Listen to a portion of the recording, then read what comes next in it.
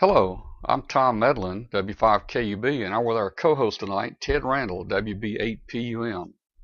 Welcome to the Amateur Radio Roundtable. Today is Tuesday, June the 23rd, 2015. We thank you for joining us tonight, and if you are listening by shortwave on WTWW, you can join in on the video webcast by going to W5KUB.com. Also, those watching the show can also listen in on 5085 kilohertz. Uh, Ted, how you doing tonight? Let's get a mic check on you. I'm I'm doing okay. Doing a little tweaking here with the uh, uh, transmitter remote control. Make sure that we got everything on. I don't think it's on right now. Okay, all right. Well, uh, uh I'm t- I'm doing a little tweaking here too. Uh, we put a little bass in here for you, and our guest tonight is going to be uh, Dr. Rick. And uh, let me just go ahead and introduce him while Ted is making some adjustments there. Uh, this week, our, our, guest is going to be uh, Dr. Richard Olsen, N6NR of Tieton, Washington. He can tell me in a minute if I pronounced it. Did I get that close enough? No, you can tell you ain't from around here. It's Tieton. Tieton. Okay, Tieton. Okay. Well, Dr. Rich has been an amateur radio operator like me for over 50 years. We both got our license just about the same time. Uh, and we're going to be discussing a wide, wide range of uh, amateur radio topics tonight. Uh, talk about the old days is where we're going to start off. Uh, and uh, we're going to talk about, you know, back then we built our own equipment. But some of uh, Dr. Rick's background includes, which I think is a neat story, is his his friendship with Senator Barry Goldwater when he was 16 years old uh, Dr. Rick took an assignment with uh, uh, to man Barry's station and run phone patches to uh, Vietnam in the 1960s. Now, we probably have a lot of uh, viewers on or, or new hams on, uh, you know, that that don't know who Barry Goldwater was, but Barry was a senator and a very famous ham, and you might want to look him up a little later, maybe after the show there. Uh, Dr. Rick also served in the U.S. Navy. Uh, he's a Vietnam veteran.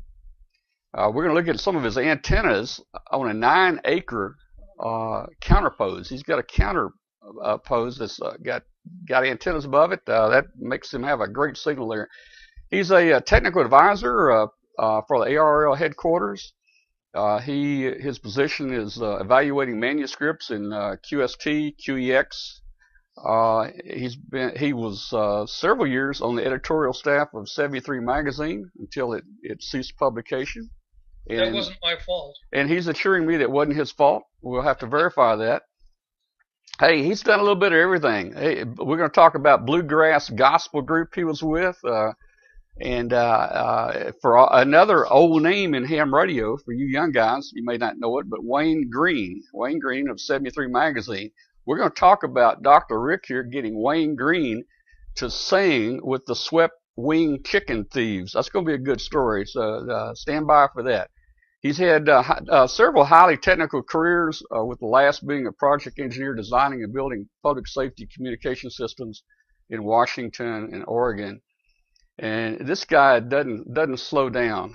Would you believe it? He was a tenor uh, with the Seattle Opera. I got some pictures, I think, in a minute that will surprise you there. So, how you doing here, Dr. Rick? Hello there, everybody. What an honor it is to be with the both of you, uh, Tom and Ted. I'm a I'm a devotee of of your craft and uh, always appreciate uh, uh, what you guys are doing. And just to be on this program is just it just tickles me to death. Well, we enjoyed having you, and I'm glad I ran across you on one of the uh, Facebook groups. And uh, I, I, think uh, your experience and the story you have tonight is, is going to be very, very interesting to uh, uh, to talk about. So, uh, Ted, you got all the little knobs adjusted and everything there? We should be on. Okay. So somebody can give us a signal report, check it out, see how we're how we're doing somewhere. Now you got to set up for high fidelity and all that. Stereo. Okay, stereo. Good. Surround. I, I hope you're splitting. That's where you put a shortwave radio to your back and one to your front. Yeah, I hope you're splitting our signal for those channels there. oh man. Okay, well, hey, let's uh, let's jump back here with Doctor Doctor Rick there, and uh, uh, hey, uh, Doctor Rick, let's talk about 50 years ago, man. That seems like a long time ago. how did you uh, how did you even get started in ham radio? Well, actually, I started uh, much before that, and uh, in fact, there was a lot of young men and women that uh, did start this way. Back about 1958, my uncle gave me a, a shortwave receiver, which, by the way, I still have upstairs, and it still works. It's an old uh, Hallicrafters SX100, and uh, so I started out as a shortwave listener. And uh, when I uh, went to school at Scottsdale High School in Scottsdale, Arizona, I was influenced by two uh, mentors.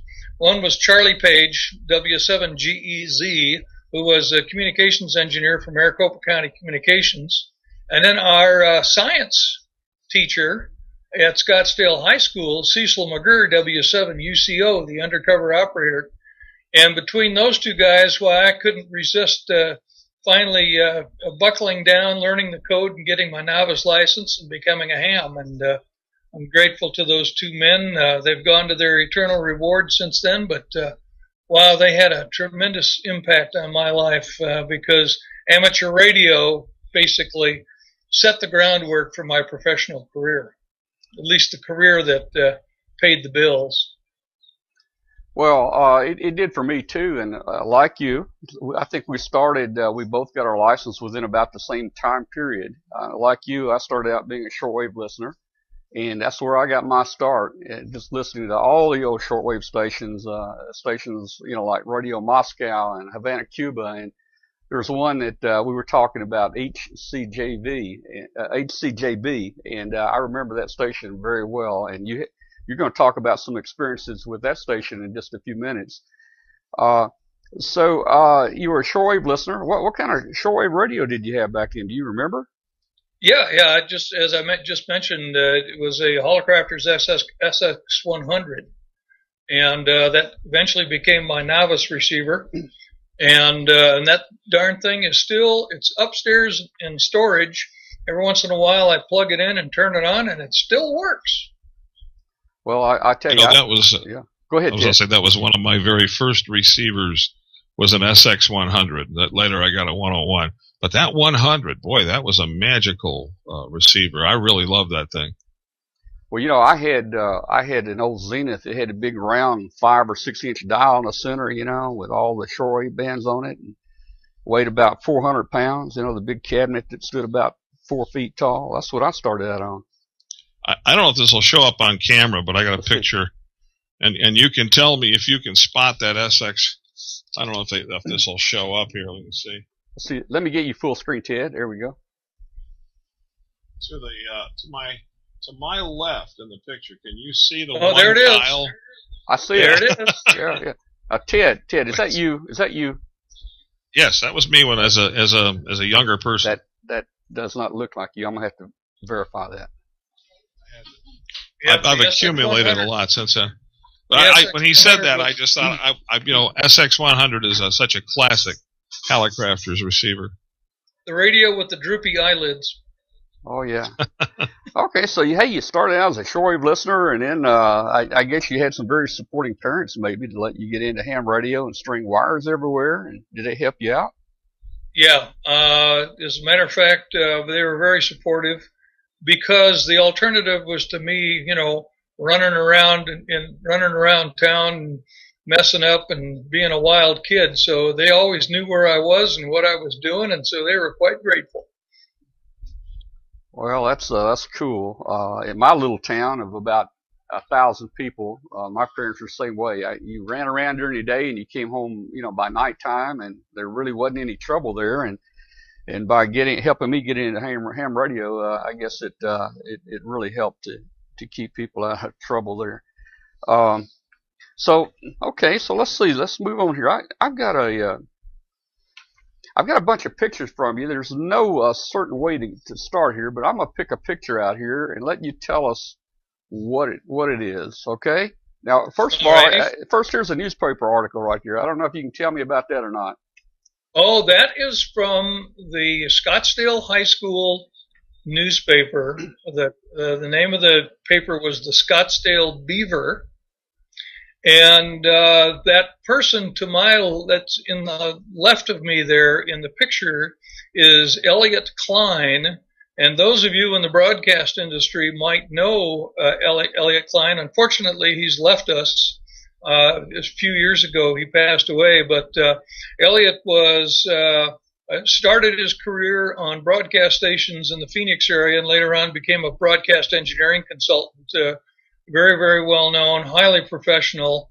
And uh, the two of us were, were like peas in a pod uh, there, and uh, that's back in the back of the uh, the science uh, classroom there at Scottsdale High School, and that was an old SX28A receiver and a uh, DX100 transmitter, and the call sign of the station was W7LXY, Lima X-ray Yankee, and uh, Mr. McGurr was our uh, was our mentor.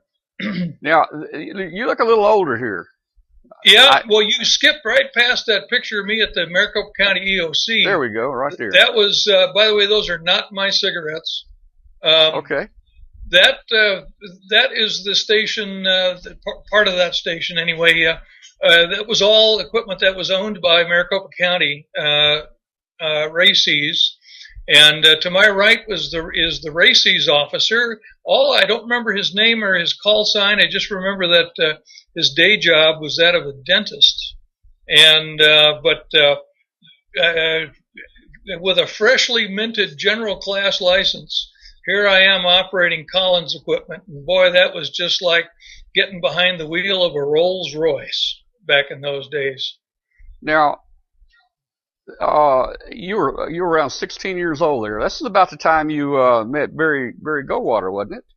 That's right. Uh, how I met him uh, was I was a member of the Scottsdale Amateur Radio Club. WA7APE was the call sign of the club. We had our own club station. And I attended uh, a lot of the meetings, and I, I attended one of the meetings. I was sitting right down in the front row, and lo and behold, who should walk in to give a presentation was uh, K7UGA himself. And what he was doing, he was um, recruiting for operators to come and run phone patches from his house. This was before all those major modifications were made to his station. It was basically all his equipment, and uh, and uh, so he gave his pitch and all that kind of stuff, and he says, "Now, do I have any volunteers?" And I raised my hand up and I said, "Yes, sir, I'd like to do it." And he looked at me, and with a with a serious look on his face, and he says, "Son, do you think you can handle this assignment?" I said, "Yes, sir, I certainly can." He says, "Well, we'll give you a try, and we'll we'll see if you can do it." And uh, so I wound up uh, operating, uh, running phone patches from his house in the summers of 1968, 67, and 66. Uh, when school was out for the summer, I could not operate uh, during the school year because uh, schools, you know, the, the, the, classes and you know all that kind of stuff just would would interfere. But I had the 6 a.m. shift, the 6 a.m. to 10 a.m. shift is that, and, is that uh, because you were the youngest and everybody else pulled rank on you? Yeah, absolutely. I was the, uh, you know, I was the. so did, was did you feel intimidated going there to do this big job of running phone patches? Uh, you know, I I should have been, but I wasn't. I was so fascinated by the station. I was so fascinated by the mechanism that was in place to support those phone patches that uh, I, you know, and I just stayed very focused on what it was that I had to do, so I didn't have really have a chance to get uh, uh, overtaken by it. Uh, they had, you know, this was back in the '60s. Uh, the phone company still, uh, this was Mountain Bell. they still had human operators. Remember those? People, those young ladies that you could oh, talk yeah. to on yeah. the phone. You dial zero and you get an operator. I had three operators that would come online when we ran phone phone patches. One of them would uh, do all the prep preparation work for the next call. The next operator would set up the call and get it ready, would brief the person on the other end. You know, there was a person sitting in a MARS station over there in Vietnam. Then there was the person, the, the, the family member back home and so the second operator then would would give all the coaching to the person as to how to say over and all that kind of stuff because I was too busy or whoever was operating was too busy to do that. And then the third operator was the one that was actually monitoring the call and monitoring the phone patch, making sure that all the equipment and the connection was working, and then would break down the network, break down the connection as the next call was being set up. It was quite a machine, and it was very impressive the way it worked. And uh, uh, and nobody ever got a chance to see it except for the operators, you know, who were sitting there in his station uh, running the phone patches. Well, you know, that's uh, that's interesting that the operators were actually working with you to help you set these calls up. Well, I think he had a little influence. Oh, okay, okay, all right. so, now, do you think, uh, you know, and again, man, I tell you, uh, uh, some of our, some of the the new hams, the, the young ham, I mean, like we're getting old. Let's just face it, and uh, you know, I, I wonder sometimes if even some of the young hams even know what a phone patch is. But that's where we connected our radios to the phone circuits, and we made this link between the U.S. and Vietnam, and people there could talk to their family here. So, do you think are, do you think there are any cases where phone patches are actually still being used very much today? I think in mission in in the mission field, in Christian mission field, um, I remember there was a ministry very recently called Blessings for Obedience, BFO Ministries, and what they did was they they started out just running phone patches to missionaries in Central and South America and in uh, Africa, and then they got involved later on in in uh, getting receivers to uh, uh to people uh, in those countries so they could listen to shortwave broadcasting all over the world listening to HCJB and other uh, other broadcasters, and uh, they also got involved with helping with communications with the Liberty ships. I don't know if you guys remember the Liberty ships, but uh, but yeah, there I believe that there still today, to this day, are phone patches being run to missionaries in uh, Central and South America who have no other way, no other means of uh, communicating uh, back home. Well, I, I haven't thought too much about it, but I can I can uh, truly understand that. There there's some very remote locations down there, so it would still come in very handy. Uh, here let's here's a couple more pictures. Now there you are again. I think that this is one we had up a minute ago. Is that? Uh, That's in San Diego. Okay. I had my new call sign by then. I got N6NR back in uh, 1976, and uh-huh. I was working for General Dynamics at that time. Uh, on the F-16 modernization program. And that uh, station there, uh, you see me working meteor scatter on okay. uh, two meters. And uh, wow. wow. by the way, there was a guy that would get on uh, on single sideband two meters with with us, uh, and he his he he would identify himself as WB6 Noah, and I think we all know who that is, but. That, that was long before Gordon got involved with uh, with W5YI and with his uh, his business with uh, uh, turning uh, hundreds and hundreds of people into radio amateurs. But uh, he was a very active uh, VHF uh, enthusiast uh, way back in the 70s, and uh, uh, we used to sit and talk and. Uh, uh, N6CA, W6XJ, WB6NOA, oh goodness, and a bunch of others whose call signs I have since forgotten. But uh, man, that goes back a ways. Well, uh, about about what year was that? You were using what sideband on two meters, working meteor scatters. Is that is that right? Yeah, it was about from about 1977 through to about uh, let's see, I think I stopped doing it right around 81 or 82. But that was back when the meteor scatters we didn't have we didn't have all of these uh, fancy uh, programs, you know, like uh, like uh, FSK 441 and, and others.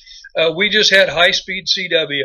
The faster wow. you could send and copy, the better for working uh, working meteors. Well, I, I, guess back then we didn't pro- we probably didn't have computers. That's one reason we didn't have. We didn't have all the uh, programs you're talking about. Yeah, here's another shot of you here. I think that's you. Oh, that's at uh, K6NCG. Now, people don't know, people don't recognize that call sign. That's when I was in the Navy going to uh, electronics technician class A school. uh, uh, Treasure Island uh, is an island in the middle of the San Francisco Bay, and that's uh, one of the one of the places where electronics technicians in the Navy went for their training. And uh, normally, when you're going through ETA school, um, uh, you had to stand duty. You know, you're on a on a duty watch schedule, and so you'd have to stand duty either you know at a gate or in a barracks and that kind of stuff. We were lucky if we had a ham license. Our duty station was running phone patches to Antarctica and handling message traffic on Navy MARS, and uh, so that's the brand new. Uh, that was a picture of the brand new Model uh, 28 ASR that we had just gotten off of a uh, retired uh, destroyer escort that was in Mare Island up there. We we were just thought we were in hog heaven when we had a Model 28 ASR. And, and about what year? What year was that? That was 1969. 1969. Okay. I went in the Air Force in 1969, and guess where they sent me? I became a teletype repairman, and I worked ah! on I worked on Model 28s and uh, in, in different uh, machines like that. Well, when I first got there, we were using a Model 19 ASR. Yeah, yeah. All right, let's see. So I, this is uh, this is you're getting into the Navy right there now. Man, who, what is this? How did you find that picture? Man, my goodness they, gracious! And yes, those are my cigarettes. oh, I, so you're smoking by this time. Yep, and that was back. It was, it was a short window of time when uh, uh, Admiral Elmo R. Zumwalt Jr. was the chief of naval operations, and he thought it would be good for morale if he were to allow the sailors to grow beards, and I had to be one of them. And so that's I was sporting a, a, sporting a beard back then. That was just after ET school was over with, and I had just received my pro. If you if you've been in the Navy, that means that you uh, went from from uh, from seaman to third class petty officer, and uh, so I was I was showing off my pro and I was showing off my beard. uh, well, I, I tell you, uh, it, it, it, seems like to me, I, I don't know how you found time in your life to do all these things. Uh, you were just mentioning, uh, I guess, the, uh, a commander there, but you also have a story about, wasn't it Curtis LeMay? Well, as it was relayed to me, I don't have this information firsthand, but I know it to be a true story. That uh, you see, people don't realize that Senator Senator Goldwater Barry was also a major general in the United States Air Force, mm-hmm. and he had a very close personal relationship with General Curtis LeMay. I don't remember uh, Curtis LeMay's call sign; it was W six something or other anyway, but uh, General LeMay is uh, is reported to have been the one that was responsible for getting Barry back on the air. Uh, Barry used to be a ham back when he was a young young man, teenager, and that kind of stuff. His old call sign, I, I think, if I remember correctly, was six BPI. That was before the W was put in front of people's call signs. And then he had left amateur radio go by the wayside. Anyway, uh, it was during the 1964 presidential campaign when uh, Senator Barry Goldwater was running against Lyndon B. Johnson uh, for the presidency of the United States that uh, uh Curtis LeMay set up a, brought his Collins gear, set it up in a hotel room, stuck an antenna on the roof, and dragged Barry in, sat him down from the radio, and says, "Here, you play with this." And and, and make a long story short, uh, Jerry, uh, uh, Barry renewed his interest in amateur radio, got licensed, and that's the rest of the story. Well, General LeMay probably had more pull than me because if I took my rig to a hotel, I doubt they would let me put an antenna on the roof. Yeah. So let's see. Okay, so uh, you were a ham, and you went in the military. You you continued. Uh, here's a shot. I think of uh, you're. Are you a pilot? Uh, well, I lost my medical when I got diagnosed with type two diabetes. But yeah, flying has been one of my passions my whole life. That is my oldest granddaughter when she was about 14 years old. Uh, that's Clarissa. She uh, uh, she's now 26 and by the way, as a chaplain, I get to marry her off this year. Is that right? her boyfriend are getting married, and I I don't know if I'm going to be able to get through that service without breaking down and crying, but Oh. I'm sure looking forward to it. But uh, she loved to fly, and she was a natural, uh, and uh, she never got her pilot's license, but uh, that was her first flight. That Well, I, I, I can tell flight. you, she looks like she's standing there trying to make a decision whether or not to get in with you. Well, she did. All right, very good. All right, let's see. Oh, uh, uh, here's another shot. You look a little different here. Speaking of speaking of HCJB, there is Mr. DX Party Line himself in my ham shack. Uh, that's Alan Graham, Uh huh. who was who was the host of the DX Party Line, one of the most uh, beloved English language service programs amongst the amateur radio and SWL communities that there was available. Uh, and uh, Alan had uh, I think he, I don't remember if he took that program over or whether he created it himself, but he saw it to its end. Now, I'm When, not uh, familiar. I'm not familiar with that program. I, I guess I'd never heard of it, but it was called DX Party Line. And what, DX what, Party what Line, do you guys John. talk about? We talked about everything. and We talked about uh, transmitter schedules. We talked about people's equipment. We talked about radio personalities. And then uh, uh, Alan talked me into into uh, doing a segment on his program called Tech Talk with Dr. Rick. And what Alan would do is uh, he would field questions from the listeners, technical questions, and uh, and then I would get a hold of those questions and I would put together a, a, a segment answering those questions. And I even did some interviews uh, with technical es- experts and that kind of stuff. And uh, and so I was on. Uh, I think it was the last Saturday of every month uh, on uh, on the DX Party Line. Really enjoyed that, and uh, and Alan kept telling me. He says he says, "Boy, people keep writing in and telling me how much they love that segment." So uh, so we kept doing it. Well, you know, maybe we need to do something like that on this show. I, I, I'm wanting to expand it to other things. So we'll, let's talk offline about that. Okay. Uh, let me see what else we got here now. This looks like, let me see if I can get them in order. We're going to go black and white first. Oh boy, that was high school. Oh, uh, back in high school, huh? Which one of those? Uh, I'll ask you the question. Which one of those guys is me? Well, I'm guessing, uh, looking at it, maybe the, the second, uh, from the right. No, that's what everybody thinks. Really? No, I'm the guy. I'm the guy way over on the left. Oh, come on, man. Did, did you like get run over and get disfigured or something? One of, one of my nicknames uh, was Stretch, and I was six foot three, 141 pounds, skin and bones, and uh, I sang high tenor in a barbershop quartet, and it was at uh, the barbershop quartet for the Showboat at Legend City, and anyone who's ever lived in Phoenix knows about Legend City. It was a theme park in Tempe, not far from the Arizona State University campus. And uh, and so uh, we were singing waiters. We would start out the show by uh, serving uh, soft drinks and popcorn and that kind of stuff, and we'd start our show right out in the middle of the uh, uh, of the uh, area where everybody was sitting, and then we'd make our way up to the stage and we'd sing a show and we'd do some variety work and all of that kind of stuff. And that was my first ever professional job as a vocalist. All right. And we've got another one here. Looks like a garage band. That is the Swept Wing Chicken Thieves, and uh, on my uh, on the left of the picture, playing bass, is Dave Soames, WB6TFC. Uh, that's me in the middle, still looking kind of skinny.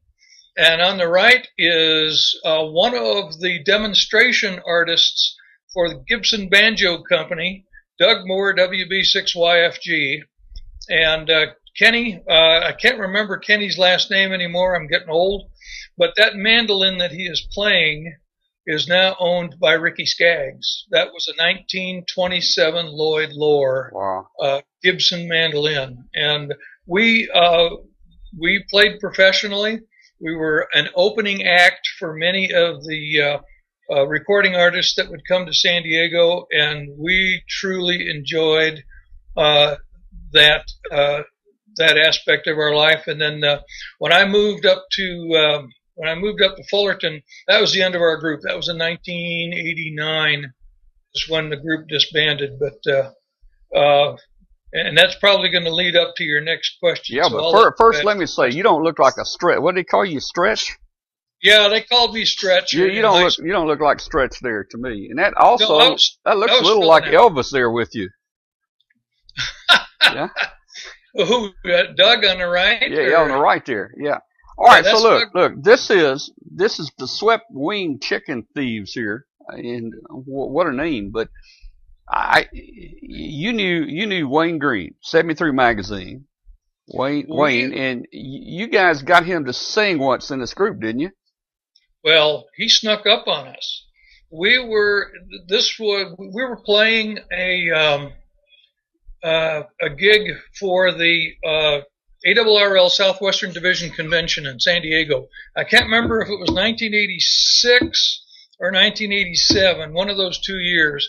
And uh, and we're we're playing, we're singing, all that kind of stuff. We're doing our doing our thing, and all of a sudden, from right but right behind me, I hear this absolutely beautiful, cultured baritone voice singing absolutely impeccable uh, baritone harmonies right behind me. And we didn't have a baritone in the group, so he was filling in on the baritone part. And so when the when the when the tune ended, I turned around and there he was. Uh, W2 Never Say Die himself. I had no idea that he was going to even be at the convention. I had no none of us had any idea that the fact that he was a lover of bluegrass music. And uh, uh, so he sang with us for a while. He sang a few tunes with us, and then he went off and did whatever he was doing. But uh, I was really, we were all just absolutely shocked, amazed, and tickled to death that uh, Wayne Green came and uh, sat in with us on a few tunes that night. So was that the first time you met Wayne? Yes, that was how I met Wayne, and it was uh, several years later. He, you know, Wayne had an impeccable memory, uh, and, and it just he was a sharp, sharp, sharp uh, individual. And uh, uh, the DX, um, the DX editor had left 73 magazine. He was looking for another one, and he just remembered me, remembered that I was a DX enthusiast and that kind of stuff, and he got in touch with me and uh, and asked me if I would take over the uh, the DX column for 73 magazine. Make a long story short, I said yes, and I stayed as the uh, DX uh, columnist uh, for 73 magazine until the, the magazine finally closed. And I also did a few did a handful of of technical uh, reviews of, of new equipment for 73 magazine as well. That was a lot of fun. So, you know, I, I don't remember much myself about Wayne Green. I took the magazine. I understand he was a little controversial in, in, in some aspects. What, uh, Ted, well, what, what do you remember about, uh, what do you remember about Wayne? Uh, I think he was right on target. People say he was controversial. He was truthful. Yes, he was. That's that's what it was. He was truthful. He wasn't necessarily controversial. Now, for the people who were politically correct who were not truthful, he was controversial. Okay, Ha ha. that's that's how I would put it. But Ted, wouldn't you agree that he had uh, just an overwhelming passion and love of amateur radio? And not too many people know because of the fact that, that part of that persona that he created that helped him sell magazines was that, you know, that kind of edgy guy. But he really loved the league. He actually was very supportive of the ARRL and uh, at a very private level, and uh, was so until the time that he passed away. Um, yeah, the thing that I think were that uh, that caused Wayne to have, I guess I want to say, critics was the fact that he was so enthusiastic. He was so uh, determined, I guess I want to say, to promote the hobby, make the hobby interesting. He was always interested in doing something different, you know, not the same thing over and over. And that's reflected in 73. If you look at the issues, you can tell that you know, every issue was just about set up and, and directed toward being, a, you know, over the edge and a little different, out of the box, to make it more interesting. Um, and and what's uh, kind of unfortunate about that is the fact that the, I guess I want to say the the diehard curmudgeon is somewhat disturbed by people like that. and, and I, I mean, that's just the way it is. I mean, that's been my observation now, Ted, of, you're, uh, you're of Wayne. using- It- you know, he, he didn't have to do anything controversial. He was just so full of energy and and uh, and so dedicated to the hobby, with so much vision and enthusiasm um, that he other people around him that didn't have that he, he kind of dwarfed him I guess that's the best way to put it. Well, you may recall, uh, Ted, that uh, back in the early days of Two Meter FM, he was one of the one of the guys who was uh, a cheerleader and a, a heavy promoter of of that aspect of amateur radio that we now take for granted.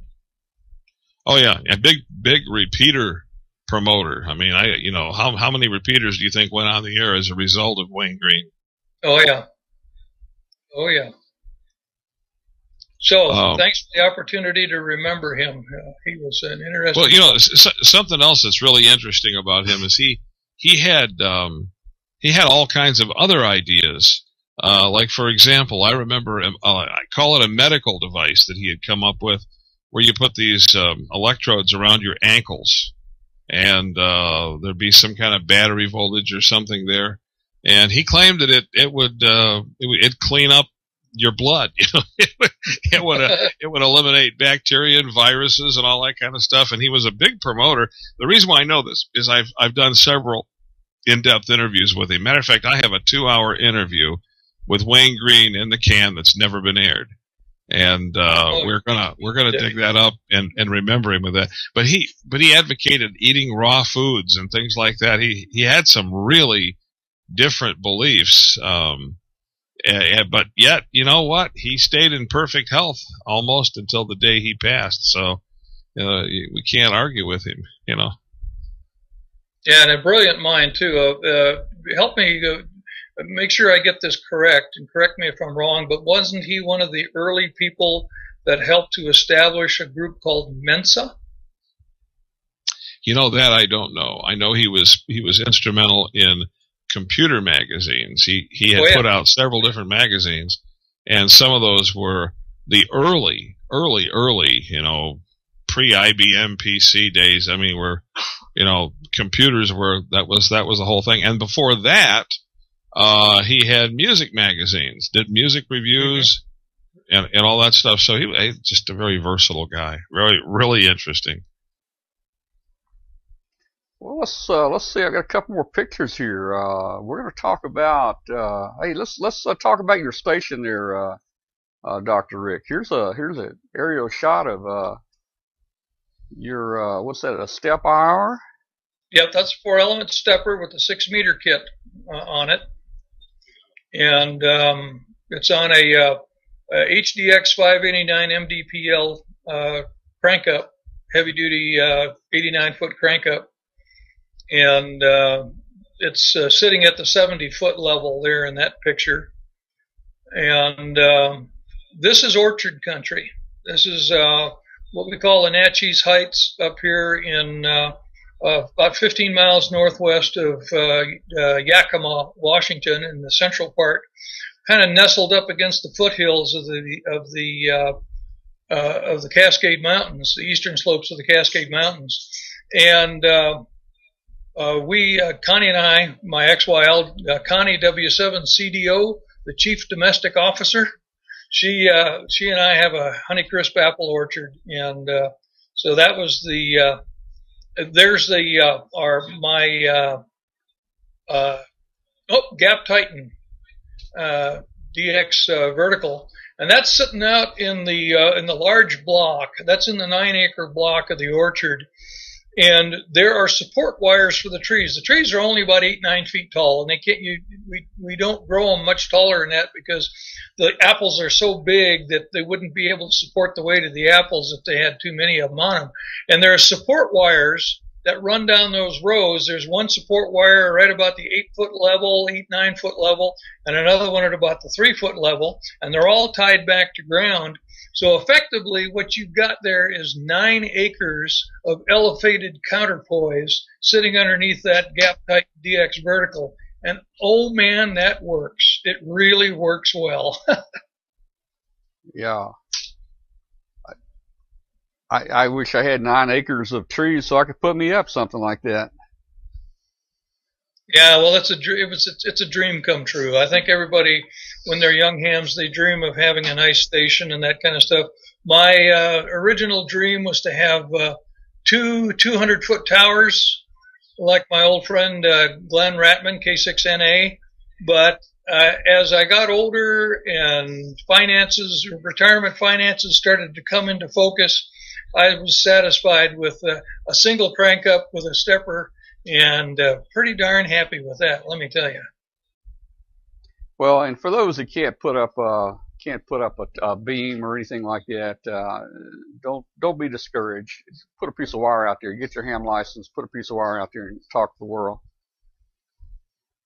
So yeah, in the station here is uh, uh, uh, I've got um, an Elecraft. I don't know if you can see it. Mm-hmm. Yeah, we see it. Elecraft K3, and uh, and the I don't have the amplifier turned on, but that's an ex, expert uh, one KFA, uh, one kilowatt solid state amplifier. So that's what we've got here in the ham shack. Now you also don't you have a remote somewhere else in the house that remotes back into that? Yes, uh, I have the K3 Twin, the K3 slash zero. That's in the library, and I have the ability to communicate and uh, and actually run the whole station from from the library in the house. And I just I've been running remote stations since way back in uh, 2001 when I got my TS2000, and uh, and I just love operating remote. We also have a club station about 25 miles north of us uh, in uh, near Ellensburg, Washington, that has uh, you can look that station up. The call sign is Whiskey Seven Charlie November Papa. There's a picture of the antenna uh, on the uh, on the web page there, or the uh, QRZ page, and that's a 160 foot tall rotating monopole, a Super Bertha. And mounted on that is a pair of SteppIR DB42s uh, uh, uh, antennas, and then we've got some VHF antennas, but we've also got uh, uh, K3 uh, in that station and a expert 2KFA amplifier, and that all operates by remote control, and I can sit in my library and just change the profile on my K3 twin, and now I'm talking through the club station up there in up there in Ellensburg. the technology is just remarkable that we have hams have to play with. Who knew 50 years ago that we would be able to do these things? Yeah, it's uh, it's really changed. I know back, uh, I mean, when you were 16 running phone patches to Vietnam, I, I guess Barry had a really nice station set up there. Um, I, I obviously didn't have a station that that nice set up when I was 16 because I I think I probably didn't work but three or four DX stations uh, my whole time as a novice. Uh, but nowadays, with the way this technology's changed, man, you, know, hey, a simple uh, a transceiver and a wire antenna or a beam, and you know, you talk the world. It's so easy now. Don't you think it was harder back then? Yes, it was, and the entry uh, into amateur radio was much more difficult back then. It was much more demanding. Um, I remember when I took my amateur extra class license exam, I think it was in 1969, it was a 100 question test. You had to draw schematics and uh, block diagrams, uh, and you had to be able to articulate to the FCC examiner that was standing there in front of you what was going on in those diagrams. And then you had to endure a 20 word per minute code proficiency exam where you had to both receive and transmit uh, at 20 words per minute uh, to their satisfaction. And uh, uh, and I think it made us better hams. It gave us that grounding uh, in in the radio form, in the radio art, that allowed us to handle the limitations of the technology. and uh, I'm really grateful for the fact that it was that tough to get a ham license back then.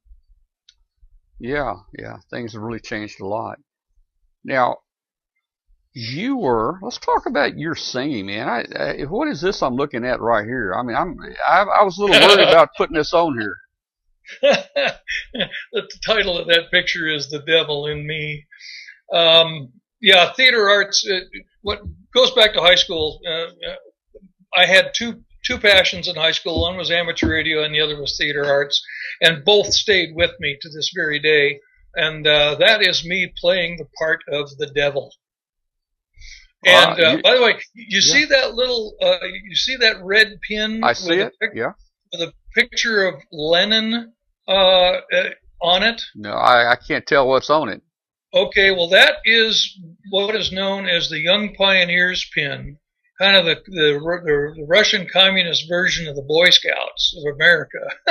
oh man! But that was given to me by uh, Gene Kostroman, UA4RZ, and that's an interesting story because Gene and I used to talk to each other on 20 meters long before the fall of the Iron Curtain. Uh, back when he was, uh, I can't tell you uh, what he used to do for a living, but he used to work for. Uh, he used to work for the Russian government, and uh, uh-huh when the Iron Curtain fell, the Western Washington DX Club uh, sponsored him to come over for a visit, and he stayed at our house. He stayed at stayed in the houses of a few other people uh, in uh, uh in the Seattle area when he came when he came to the United States, and uh, he gave me that pin. That was his Young Pioneers pin, and so I used it as part of my costume. It was supposed to look like the devil Huh. And uh, and it served that purpose at least on stage. All right. Well, you look like a warrior here. I am. I am. I'm singing the role of the first armored man in uh, Mozart's uh, Magic Flute, and that is Pamina. That's the the little princess that uh, Tamino wants to get married to, and uh, it was my job to keep the two of them apart so that they couldn't get together. And uh, this absolutely wonderful, beautiful coloratura soprano singing in my right ear, that was a wonderful moment. And uh, one of the uh, uh one of the uh, uh, photographers from the from the opera company caught that photograph and gave it to me, and I just so I, I treasure that that moment being on stage. Well, you you worked a uh, number of uh, jobs uh, over the years, and uh, a lot of high tech jobs, and uh, you keep retiring, but you keep going back. I think here's a recent picture of you. Yeah, that's been. I was at Eastside Fire and Rescue uh, back when we lived on the west side in the Issaquah area. I spent 14 years with Eastside Fire and Rescue, and that was my that was my first real role as a police and fire chaplain, uh-huh. and uh, I have considerably less hair now than I, than I did in that photograph. Is that why you have the hat on tonight? Yeah, that's a matter of fact. Yeah, I don't want too much glare. Oh, you, know, to... uh, you know, I'm starting to get the same way, and uh, you know, I you know, it's starting to bother me a little bit here. I guess I'll have but to I love singing. I, I, truly love singing, and it was an honor to sing in the San Diego Opera and in the Seattle Opera Company. Uh, but now I'm 66 years old, and tenors at age 50 begin to lose their voice. And I doubt very seriously if today I could pass the audition for the Seattle Opera. But uh, it's in the record books, it's in my memories, and I, I was honored, and, and what a privilege it was to be on the stage with the very best of the best. I can remember sing, singing shoulder to shoulder uh, with uh, Dame Joan Sutherland when she sang the title role in Lucia di Lammermoor. And oh, did she have a voice. And out in the audience, it sounded like, sounded like she was singing really softly uh, when she was doing the mad scene in Lucia, Lucia di Lammermoor my left ear was ringing because she was focusing that voice straight up into the overhead. And that's how she would handle her, manage her dynamics from the way that she could, where she could focus her voice.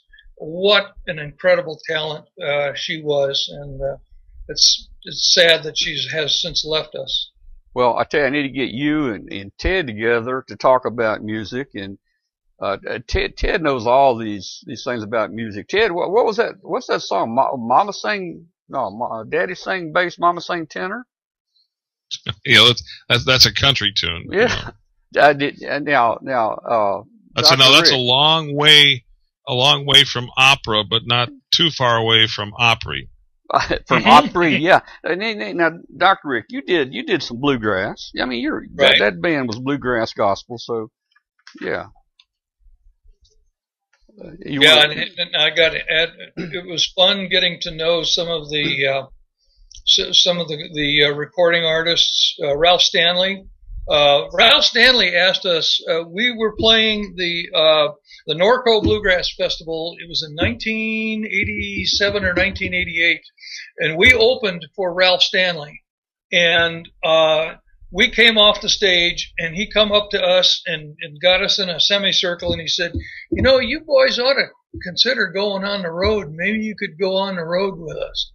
And we looked at him and we thought of our kids. We thought of our wives. We thought of our day jobs. We thought of our mortgages. And we knew, we knew the, what the nomadic lifestyle of a bluegrass artist was. And we said, we said, you honor us, sir, but we have to respectfully decline. And uh, but uh, to have the opportunity to know these these wonderful recording artists uh, personally, John Duffy from Seldom Seen. Uh, Ted, I don't know if you're a bluegrass aficionado, and if if you remember John Duffy uh, from Sel- Seldom Seen, I can remember being back in uh, Arlington, Virginia we were going to go to the Birchmere and, and hear him play that night. And we turned on the radio in the morning and they were playing all this nostalgia music. It was the day that John Duffy passed away. We got it. We got to go to his wake and there he was laid out in the coffin in his bowling shirt of all things. And it's just, just the way bluegrass artists are.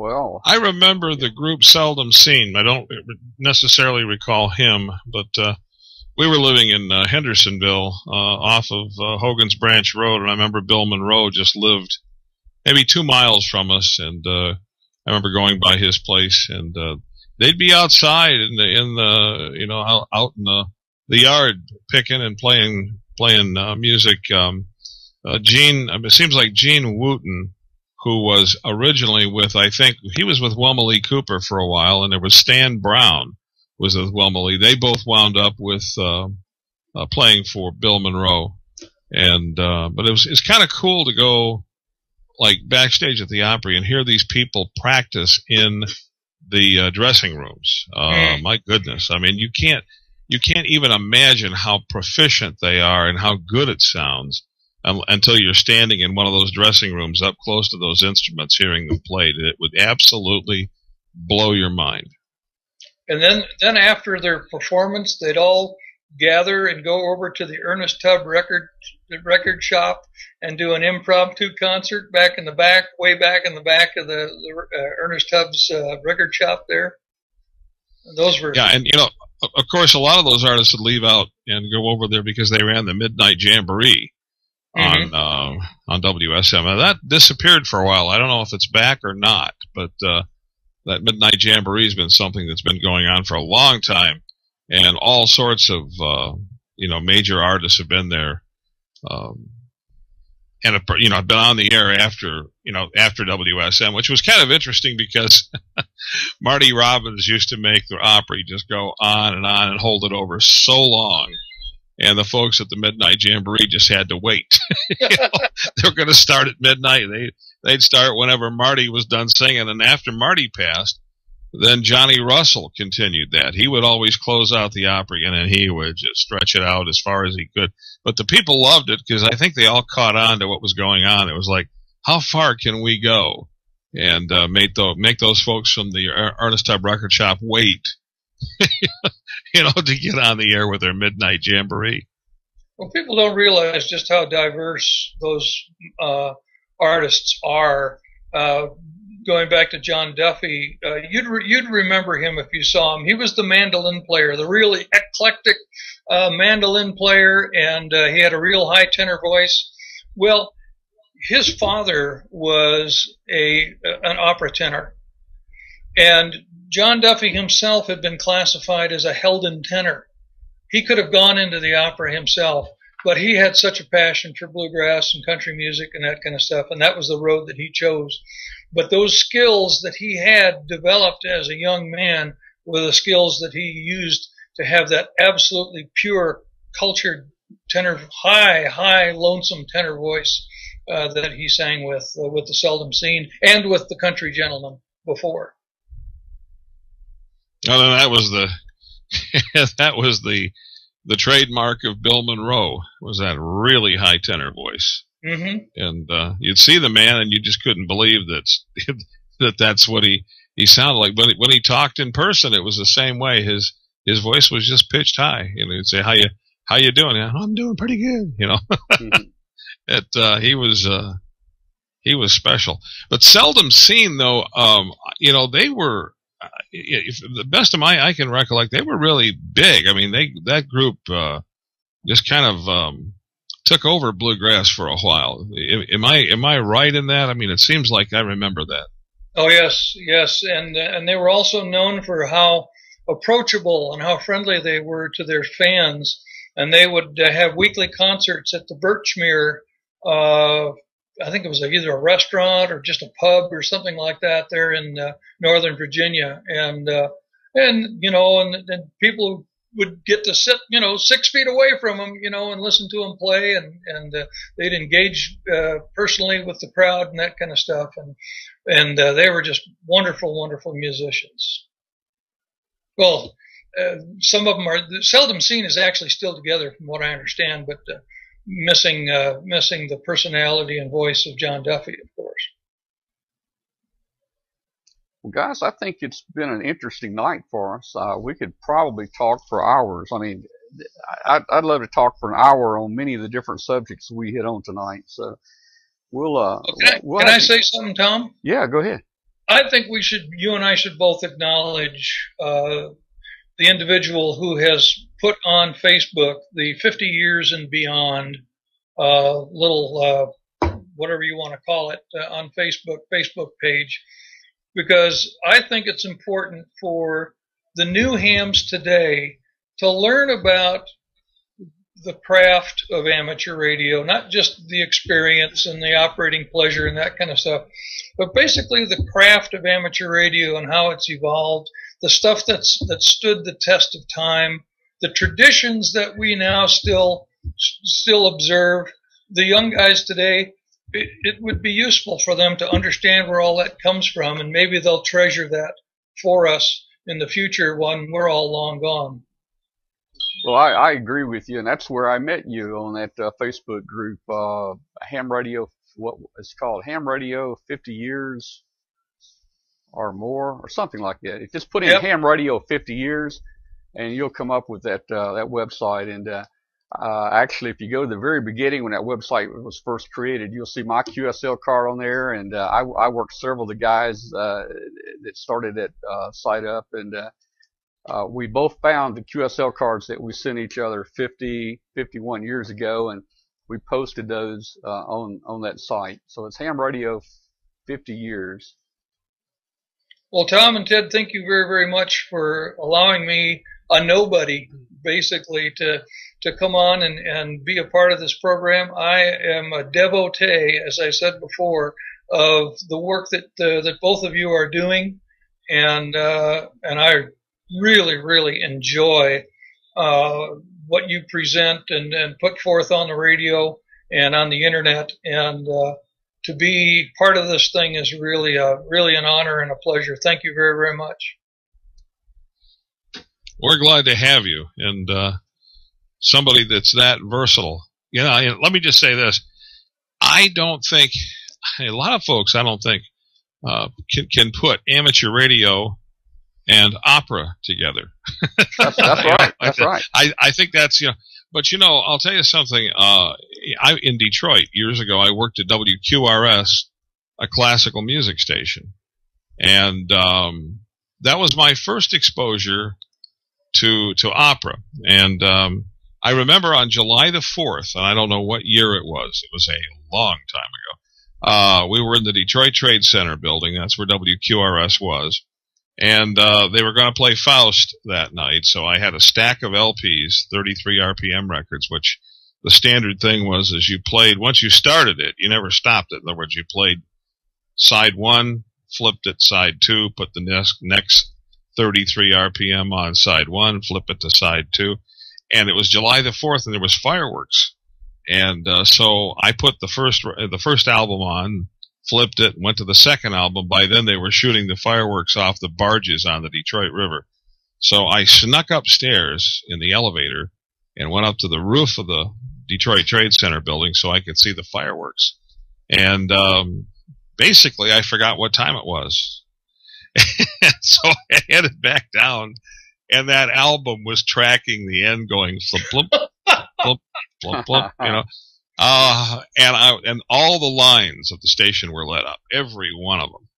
And uh, so I had flipped the record over, restarted it. Everybody at that point was happy, but I started answering the phone. And I'm going to tell you something.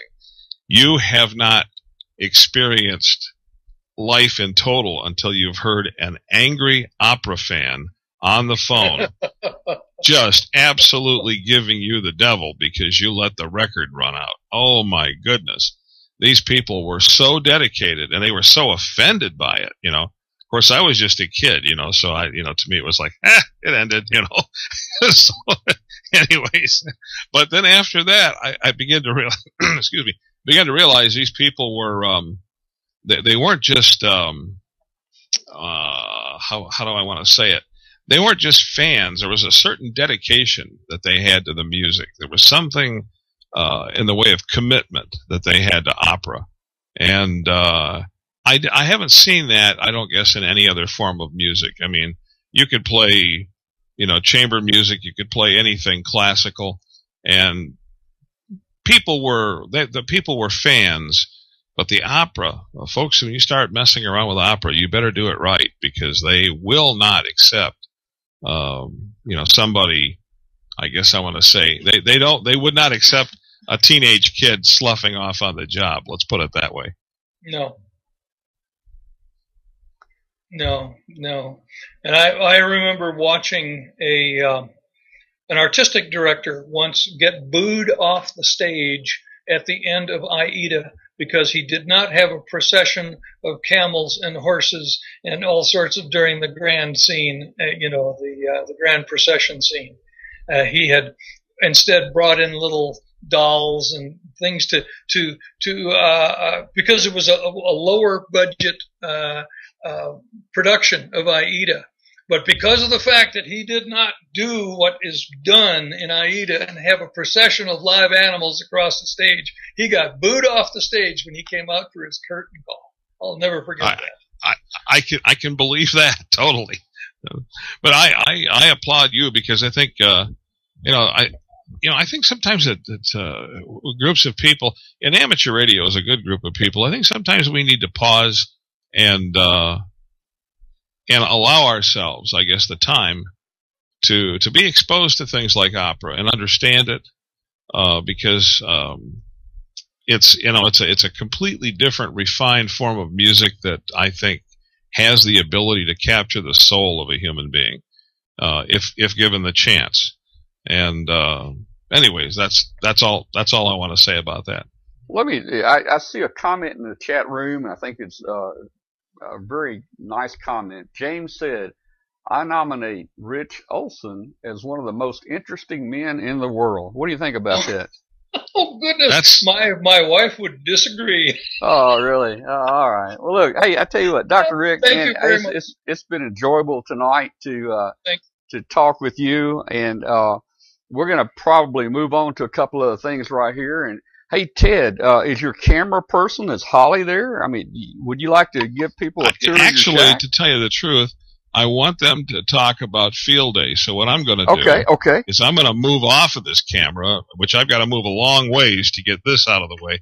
But I'm going to move off camera and let um, and let them, uh, David and Holly both, and she's got a friend with her, talk to you about the, the date and time and the phone number for field day. Okay. That, that that'd be great. And that was also a subject I wanted to talk about tonight. Seventy three, uh, Dr. Rick. We'll uh, we'll talk to you later.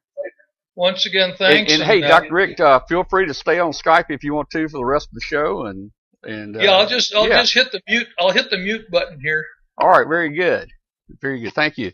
And look at there, I, I see uh, I see Holly there. Look at there, Holly, and I don't know who that's with Holly. Let's see. This is Zoe.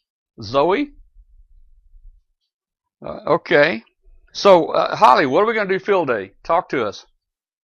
Well, the I guess amateurs at their field day locations are going to call in to the number on the screen, 615-813-0173, and then Ted will give them a call back um, and we'll go live on the air talk about it.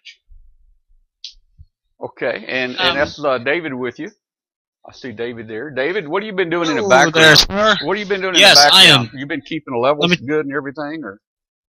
Yes, sir. Taking taking care of everything. Listen, I am really excited to hear about all of the field day food that's going to be out there. I, I love hearing about uh, all of the um, all the barbecue and all of the different fixings and everything that everybody's eating out at their uh, out in their tent outside. Yeah, yeah, I am too. You know, how come a hot dog or something cooked at field day tastes better than one cooked at home? What what's the difference? Are they are they just cheap hot dogs? Is that what the difference is? I don't know. Someone else cook them? They're like uh, Hampus hot dogs. Yeah. It's all the RF exposure. the RF exposure. Um, all right. Also, so, I want to mention that um, people can text that number as well. Okay, um, so if they just text, text it, you'll call them back as as you can uh, yep. uh, get to them, right? And what yeah. do you uh, what do you want these guys to tell you when they call in? What are you looking for? Uh, just anything about their ham radio field day setup, their food, like David mentioned. Um, you know, how many people, kids, passing the cell phone, uh, pass the cell phone around. If there's any officials, city officials there, you know, whatever. Um, what kind of power they're running? If they run solar, you know, generator, what have you. Yeah. Uh, we'll just put them on the radio and talk about it. Ted will give them a Well, yeah, well, cool. I might even try to call in if I can if I can get through. I know your numbers are going to be very very busy there. And did something happen? Up, oh, we just lost. Uh, we just lost Holly. Okay, let's see if we can get let's see if we can get them back. Oh, let's see. We're, we're trying to get them. Okay, we got you back here. We lost you. So Holly, uh, can you hear me? Yeah, we can hear you. Okay. You need to get a little closer to the microphone. I was going to let David jump in here. Okay, come on up here, David. Yes, sir. So, uh, you guys are going to be, uh, what? You're not going to be out anywhere field day, but is that where you're going to be, right there in your studio? We will be. We'll be right here manning the telephones and uh, taking all your calls live. Live on the radio. And what what are the hours going to be? You guys going to be on all day, every day, uh, uh, throughout the weekend? All right. Uh, all right. So you said two o'clock. Two two o'clock central. Two o'clock central daylight time is when we're going to go live. Okay. At least that's that's the plan. Two o'clock. And then Miss Holly remembered the UTC, but I don't remember what it was now. Well, we got to add uh, five hours to fourteen hundred, so that would be. Uh, I, I, I have to take a shoe off. 1900 Zulu. UTC 1900. I think. Yeah. Take your All right. Well, uh, I, like I said, I'm. I'll try to call in. Maybe I can get through to you guys. Uh, I'll text you or something, and I'm gonna. I'm gonna uh, hit a couple of field day locations. We're not going to be streaming anything live this year, but uh, I'm going to record a little bit. Uh, maybe that we can edit and put on one of the other shows there. Uh, you guys get a lot of calls. You've been doing this now a, a number of years. You, you, get a lot of people calling in, don't you? Yeah, we've had plenty of people from overseas. Um, we've had, uh, if I'm not mistaken, we've had all all all states call in. uh, including uh, we've had uh, two two clubs call from Hawaii. Uh, we've had Puerto Rico call in, um, Afghanistan. Uh, Wow. We've had uh, uh, Europe call in as well. Um, Germany, France. Uh, we need to get a map and start London. You know, all over the place. So very, very, very happy to have anyone give a call in. And uh, and again, like Holly was saying, just talk about anything you got going on there at the uh, at your tent. Well, uh, uh, you know, one and- place you didn't mention was Olive Branch, Mississippi. I, I, I'll try to call in from there, so you you guys can put a pin in your map. we'll we'll try and get a QSO from there. Yeah, yeah, okay.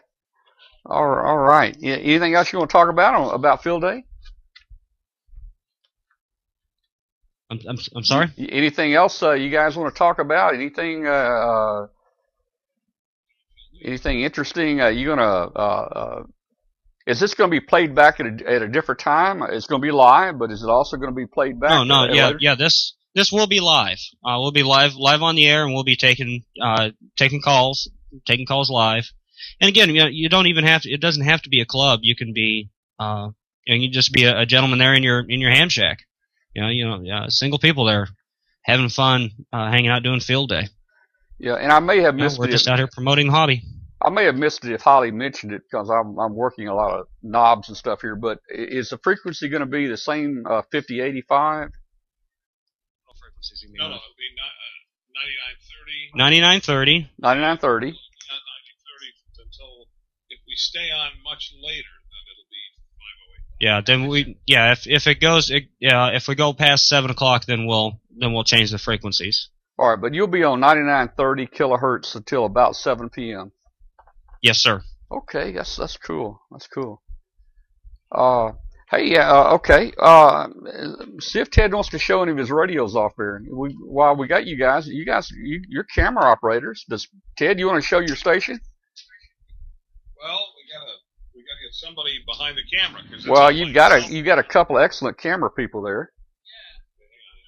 What I'll do is let me uh, let me drag the microphone over here, and uh, that way we won't uh, we won't be uh, Okay, in the way. you're sounding good. Well, you can see the the mic boom. Yeah, I, I don't know. I guess you could start over here uh, on the left hand side on the top. I guess if you wanted to, if you want to do a radio scan. I see. Now, now, Ted, That's uh, uh, you've been collecting these things for a long time. You got quite a collection there. I can't fit them all in here. I mean, I've got I've got a lot more radios that that I, I wish I could.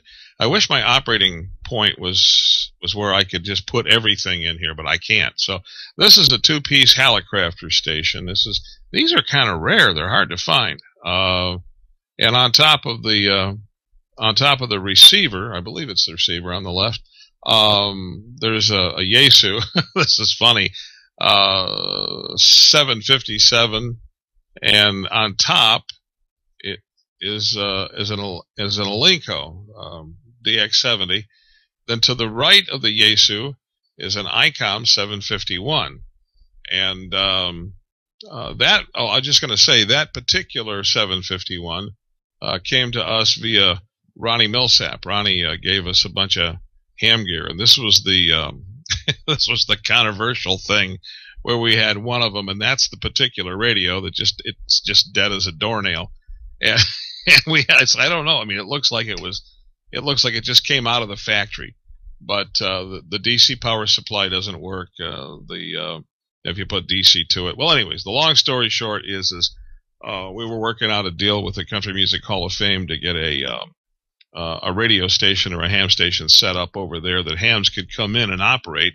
And we were trying to do that utilizing all of uh, vintage equipment uh, and and Milsap's equipment being a real miles, milestone in that. So that was that was the attempt uh, to do that.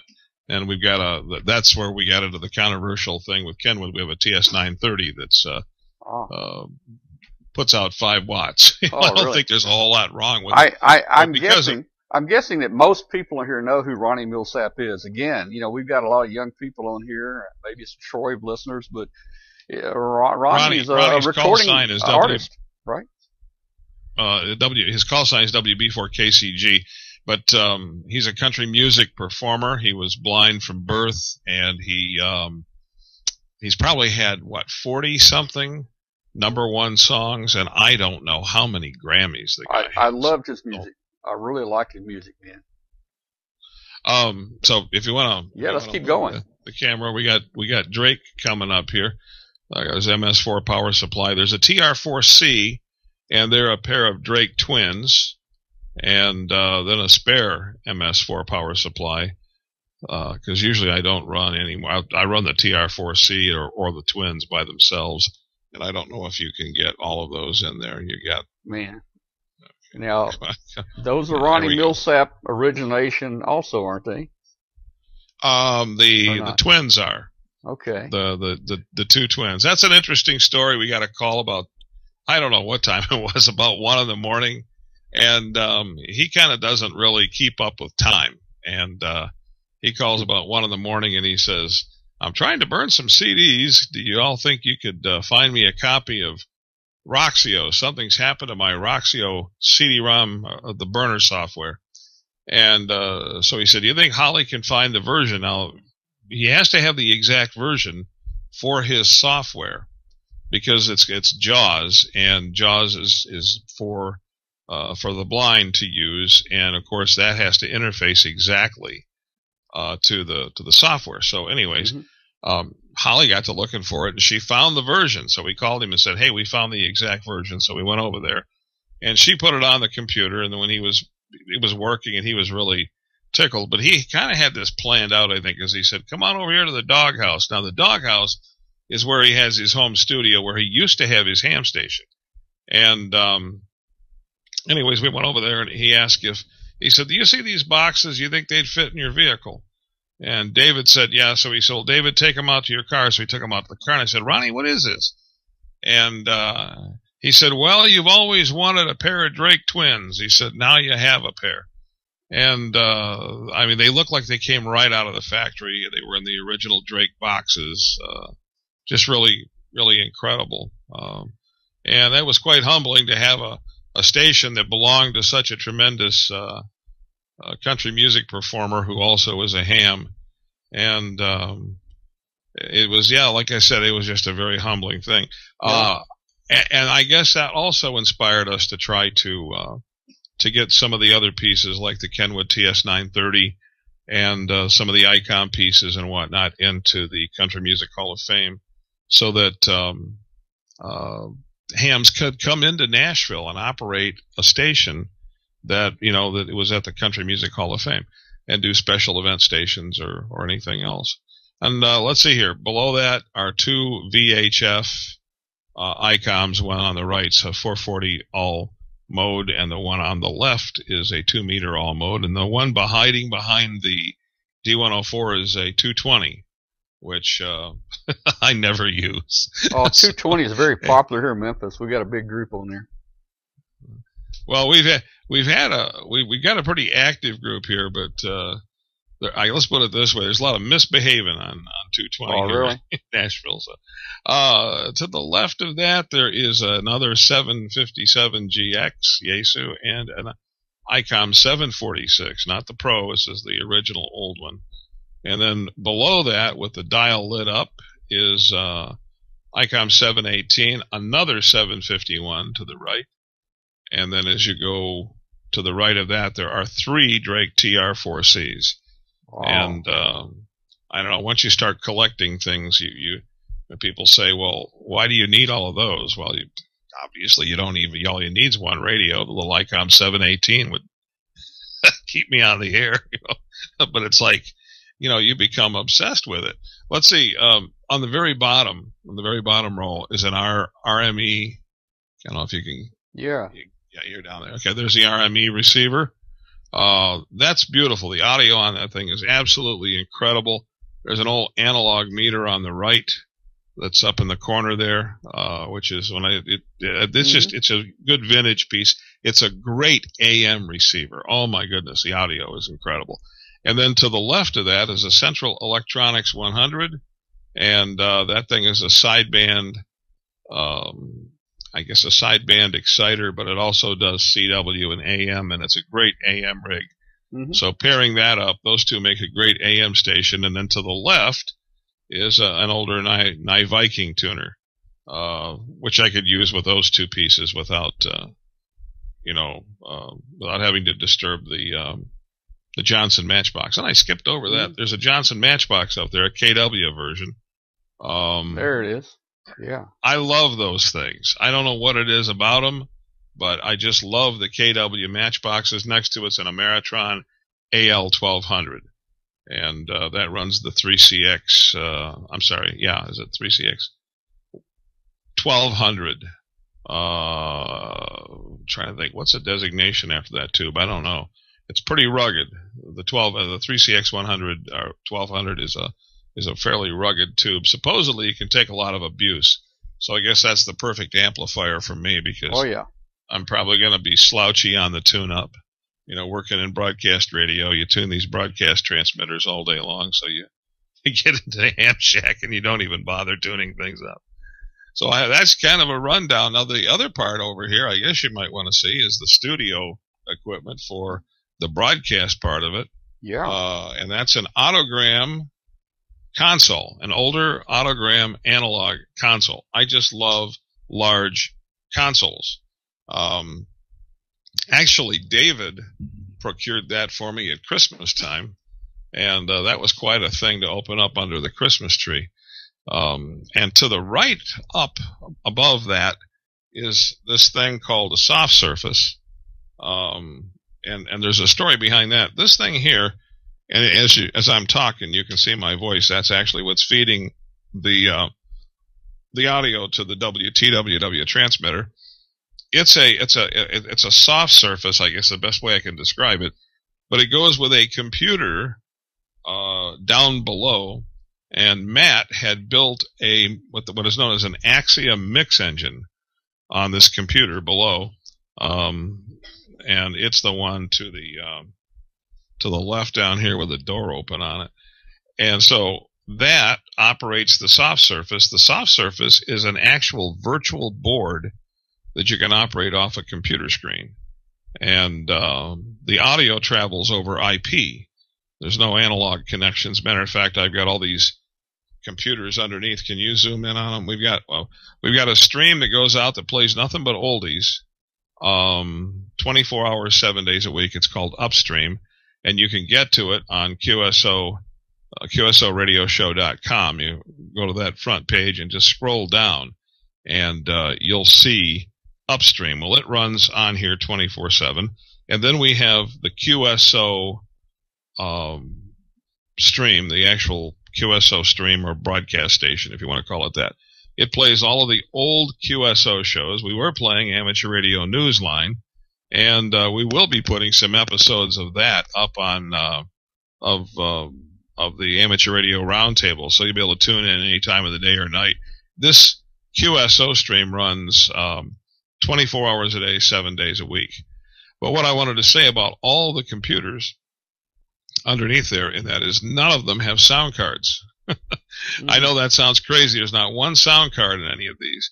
Um, they all run uh, the Axia driver, which means that all the audio uh, travels in and out of those machines over IP, and uh, it's it's a tremendous system. It's amazing because I can go in on a on a on a little menu and click and move any source to any destination, any destination to any source.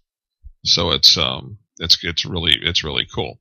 And then of course there's a rack to the right here. The the the rack is uh is just got all the necessary evil in it. At the very top you'll see two Axia nodes, and those uh, have have inputs and outputs and are addressable to any of the computers. Anything you've got plugged into a node, you can see on any computer by selecting it on the menu. I know I'm, I'm probably talking Greek to some folks, but this is, I mean, this system is incredible.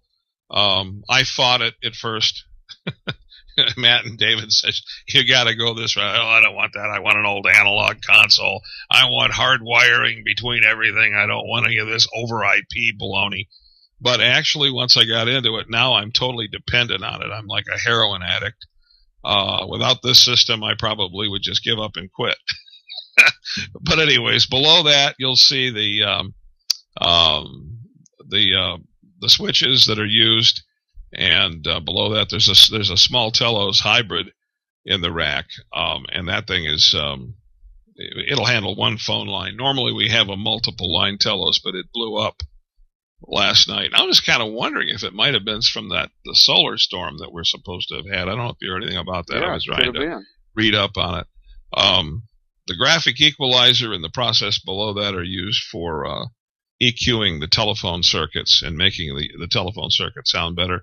There's a reverb, so when we're doing oldies on Saturday or Sunday nights, we can make it sound like uh, top 40 radio in the 60s. Uh, and then there's a mic processor. There's a M1 there, which I absolutely love, made by Wheatstone, and uh, it's um, it, it's quite the thing.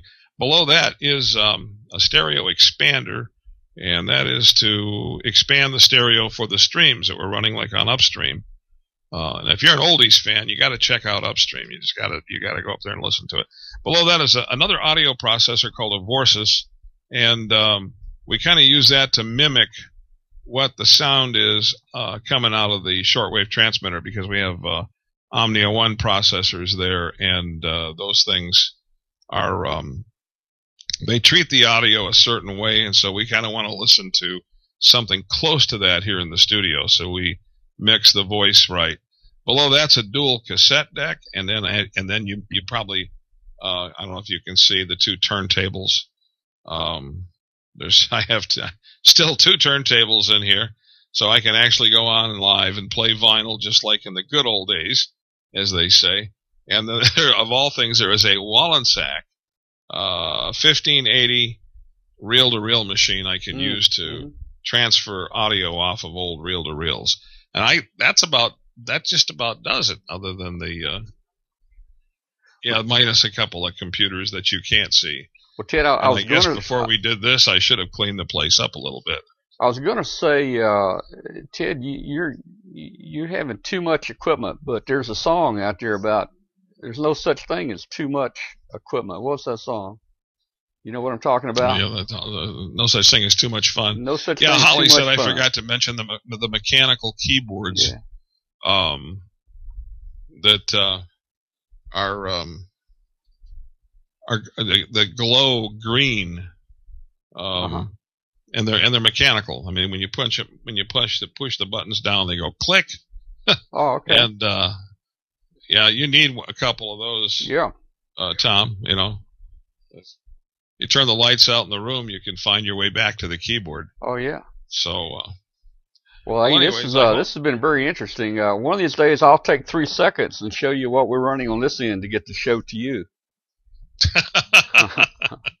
oh, you got more than you got. It take more than three seconds. Uh, you got a pretty complex Well, setup. that's uh, that's looking good, Ted. Uh, man, it's uh, takes a lot to do what you do, but man, it's it, you you you're making it very professional and first class. Looks like to me. Enjoyed looking at Well- your uh, ham shack here too. Yeah, we uh, you know when you're doing live programming on shortwave, the transmitter is about uh, 17 miles from our house here, and uh, this this studio is in my home. It's in the you know in what was a bedroom, Yeah. and uh, but you know we're 17 miles from the transmitter, but it's it's hard to put a studio in at a shortwave transmitter site because the RF is so intense it just gets into everything. The only thing I, I just want to add to the folks that, to be sure and call us on field day. Uh, we want to hear from everybody, and um, in the past we've had people pass the phone around that had they they had uh, one amateur at the site that was actually uh, a hundred years old, and then they they let him put him on the air. That was really cool.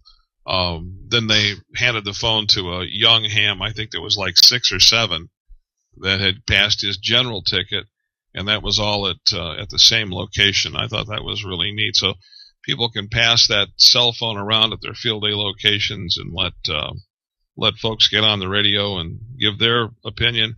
I think the excitement is firsthand. You know, it, it, that's when the people are experiencing experiencing the excitement is when it. Uh, um, you know, and you hear that it's it's contagious, you know, and uh, Oh yeah. I think it Well, we cause just- a lot of folks to want to get into the hobby that are sitting on the sidelines.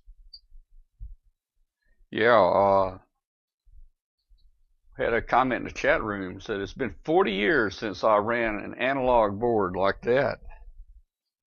I don't, I'm not sure which one he's talking about, but uh, hey, analog is still good. Hey, I, I hope the uh, field day weather is good this year. I'm sure it will be somewhere. I, I know last year it was uh, it was pretty bad. So uh, you guys, uh, there's there's Ted's number. If you forget it, just go to uh, QSO Radio Show uh, dot com, and I think Ted, you'll have the number listed there, right?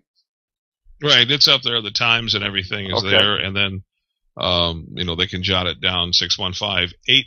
You know, you can remember it really easy. Let me tell you how you remember it. Um, six one five is the area code for Middle Tennessee, Nashville. Yeah. Now, what what's a what's a good tube that used to Oh, be used? in a thirteen. I I had an amplifier. I put three eight thirteens in it. There you go. And uh, so, what's the number one hobby in the world? We got zero one is ham radio, and then Oh. of course seventy 73. three. Haha. okay. I, I can I can that remember that. discussion I can I can definitely remember that. All right. Well, we're gonna call in sometime after two o'clock on Saturday, and uh, again, that's gonna be on ninety nine thirty uh, kilohertz for people to tune in. All right. Well, Well, I'll go ahead and say good night. I know you're anxious to get this chat room thing going that you guys do. Well, I just I'll had I just had maybe two more announcements, Ted. I don't know if you've heard this or not, but let me jump into them real quick. Hey, did you know uh, U.S. Navy uh, Marine Corps uh, is going to end their the U.S. Navy and Marine Corps is going to end their MARS program by the end of September? Did you know that? I had heard that. Yeah, had- all the operations are going to be transferred over to the other MARS uh, programs. And let's see. Oh, it looks like we might be getting a couple new amateur radio bands. Uh, uh, they're going to be 2,200 meters. Ooh, that's 135 kilohertz. And 630 meters. That's 472 kilohertz. Uh, those frequencies can't be used until the FCC modifies Part 97 rules. Once that happens, uh, we'll be able to operate there. And those frequencies are going to be shared with the unlicensed Part 15 utility companies. Now, these frequencies are mostly used to control the power grids. So the FCC thinks that the hams, you know, we're going to have to have a little separation and we're going to have to live together and not cause interference with each other. So uh, hopefully you won't live too close to the power grids or you're going to be shutting down the power grids.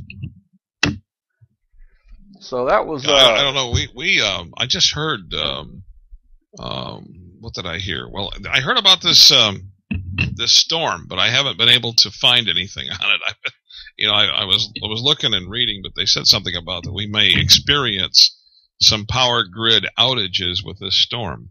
It's And, uh, it's uh, been a very severe uh, uh, solar storm, I think, uh, the last day or two, and uh, it's supposed to even be powerful enough to cause some damage. So we'll we'll see how it goes. You know, that's that's another thing that we need to think about, and that is um, what would happen if um, if we had a solar storm that took out, you know, communication satellites. Boy, that would just be a That'd be terrible. uh, an incredible thing, you know, because so many so many things would stop working. Uh, you know, I'm told that most uh, the teller machines at, at banks would, would close down. I don't know if that's true or not, but at least that's what I've been told. So it's a lot. It's a lot to think about. That's why I like to keep my eye on things like solar storms. You know that uh, what what could happen. You know? oh yeah. Well, I'll go ahead and say right. 73, unless you've got anything else. No, that, that's it, Have a- man. we're gonna go a- to uh, we're gonna uh, go to a segment of the show here. Uh, it's, it's a really informal uh, segment. Anybody wants to join us with their camera and microphone, we're gonna put you on the webcast. We can take up to ten people at a time. And uh, uh, Kathy, I think sent a link out a few minutes ago. If you click on that link, you'll be able to uh, join us and be on the webcast, and you can wave uh, wave to all your viewers out there. So uh, I'm, 73 I'm Ted. trying to figure out how to do it. Uh, okay, and and, and uh, uh, Dr. Rick says, Dr. Rick, you need a Google Plus account. That's the only problem. Do you have a Google Plus account? No, I don't. Well, you can set one up real quick. It's free, and I think you can do it real quick. It's just go to Google, search for Google Plus, uh, register for a free account. It, it's like a Gmail account almost, but it's I don't know the difference, but it's Google Plus. Once you have that, you click on that link and you're on the show with 10 other people and it's a real free for all. Everybody's, uh, uh, after about a few minutes, it kind of settles down and, uh, everybody starts seeing how to let the other people talk, you know, so, uh, we'll be looking for you, Dr. Rick, uh, to get, to get on there.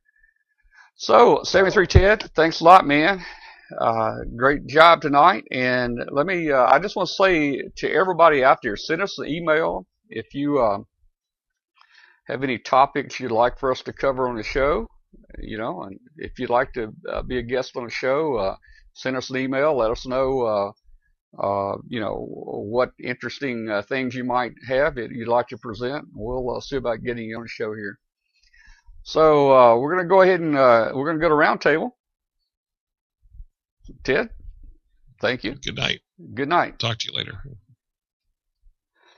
All right, so it's going to take me about two minutes to uh, to uh, get on roundtable. I will be back, so you guys don't don't run away. Uh, in the meantime, uh, I'm going to put something on for you here. I'll be right back. Uh, yeah, drop off and then just uh, do you see the link? You, you don't see the link, do you? no. Okay. Um, let me send. But okay, let, let me do this, Dr. Rick. Let me do this uh, for you and for for the other people out there too. Uh, uh, let's see. Uh, okay, uh, I just put a link. I don't know if you can copy that link. Can you right click and copy that link? Well, or or you can leave. Yeah, you can. If you're on the webcast, are you in it? Do you see the chat room? You may you may not be in the chat room.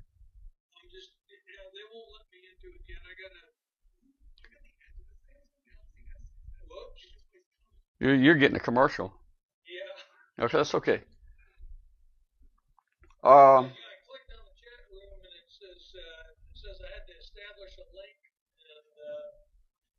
yeah. to a new user account and all that kind of stuff. So uh, fill that in. Fill that in real quick and Yeah, click click submit and just use that. It'll work. Uh, I don't think you'll have to wait for the code back. It it'll, it will work and allow you in. Oh, okay. All Just right. Just put your uh, put your username and a password in here. See if you can get in the chat room. I'll stand by here with you a second. Yeah. And uh, Glen Popiel, KW5GP, is in the chat room, and Glen Popiel's the author of the that in real quick. Glen Popiel's the author of uh, amateur radio, no, uh, Arduino for for uh, amateur radio. It was a ARRL publication, and he says he's going to take the, take demerits. He's going to miss roundtable tonight. He's going to leave us now, guys. For, for you guys left in in the in the video in a chat room, Glen Popiel's leaving us. He's not going to join us tonight. We're going to have to give him some demerits for that. Uh, Dr. Rick, did you get in a chat room yet? Hang on a second. I had too many too many time delayed audio sequences going on there. Oh, okay, yeah, yeah. You want to yes, turn? I'm in the chat room now, so I guess I can drop off the, the Yeah. uh, I All can right, drop so- off of here, and so- there I am at the bottom, N6NR. Okay. Okay. so stand by just one second. Let me uh, Okay. let me send uh up. Let me send the um. Oh, gee. Let me send this link out again. Uh, okay. This should be the link right here. If you click on that link, and if you if you got a Google Plus account, you should be able to uh to get in. So I'm gonna go ahead and sign uh, sign off with you, Dr. Rick, and I'm gonna go over on Google uh Plus to our Hangout and see if anybody's there to join us tonight. Okay. and thank it may you not much. be anybody there, but we're gonna try it. So 73. Okay. All right, uh, we will be right back with you. Don't go away. So you're saying I can ask this cat any question? The cat is connected to the computer. You just type in the question, it will read his mind. There the answer comes.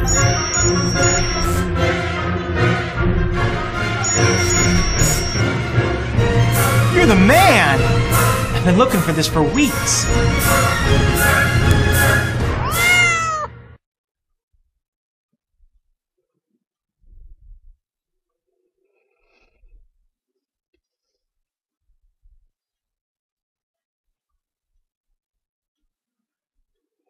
Okay, I'm uh, looking for my link to click on here, so I'll have it here in a minute.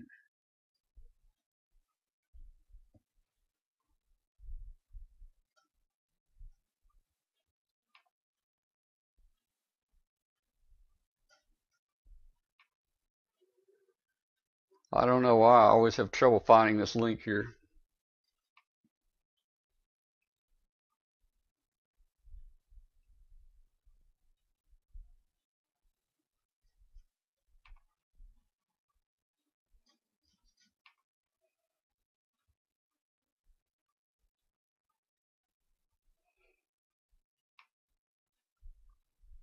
All right, I found it. Uh, let's see what happens here. See if anybody's in there.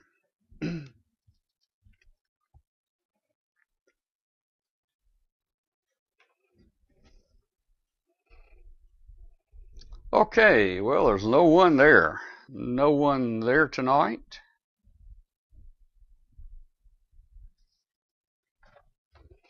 We'll give it a few minutes, see if anybody wants to join us.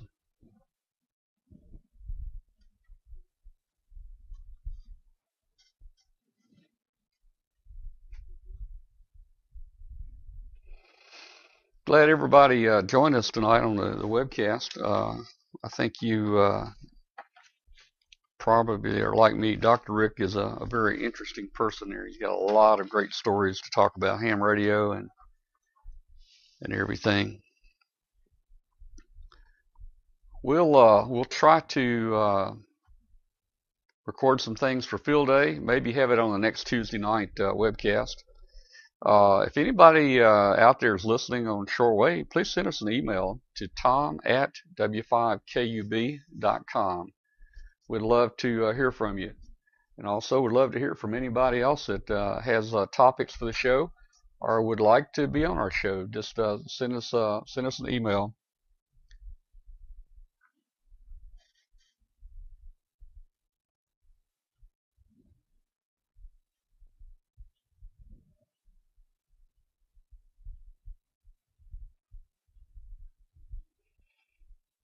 So I know Dr. Rick's to try to get on the uh, the hangout with us. No no other takers tonight, guys. Nobody else wants to be on with us.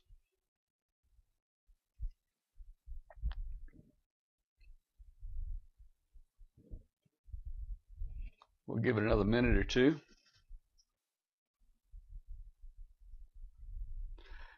Hangout seems a little confusing at the, at the start to uh, create an account and get on Hangout, but uh, after you've done it a couple times, it's it's pretty easy to use. So uh, I think it's uh, a lot of people are a little little afraid to get on and start uh, uh, start trying to connect that way.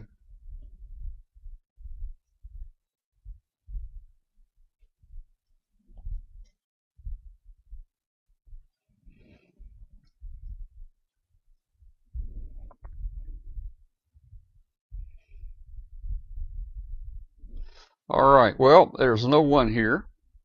Um, let me let me do this. I am going to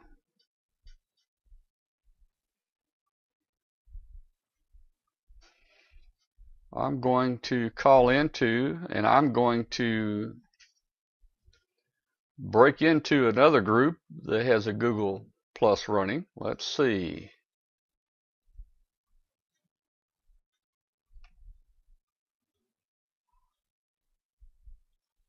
I'm going to try to get into another hangout here. Hang on, let's see what's going on here.